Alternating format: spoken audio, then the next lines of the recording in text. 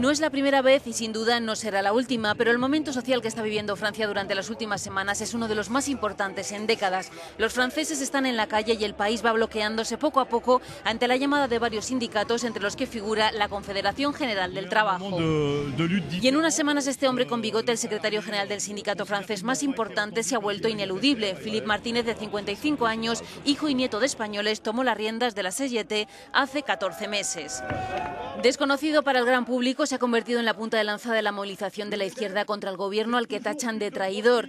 Atrincherado en su posición como Manuel Valls y François Hollande, no está dispuesto a ceder. Cuando existe tanta protesta, cuando se genera tanto rechazo a un proyecto de ley, hay que retirarlo y empezar de cero para volver a discutirlo. Es el buen sentido el que debe prevalecer. El balón está en el campo del gobierno. Si ellos dicen que van a empezar de cero, todo esto parará inmediatamente, os lo garantizo.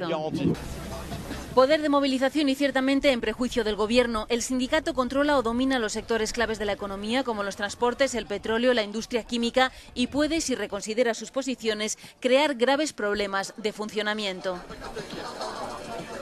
La CGT tiene 688.000 miembros. Es más que un partido político, pero no representa a más del 2,6% de los trabajadores asalariados franceses.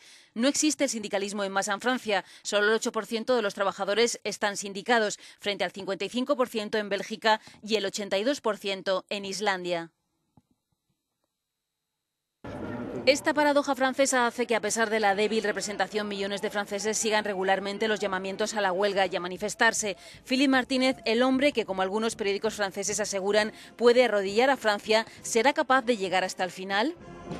Al lanzar una movilización como la actual, Martínez y la CGT han triunfado, pero después hay que aterrizar, tienen que ser capaces de parar el barco y ponerlo en rumbo, explica este analista. Es muy complicado, será ahí cuando comprobemos el talento que puede desplegar Martínez.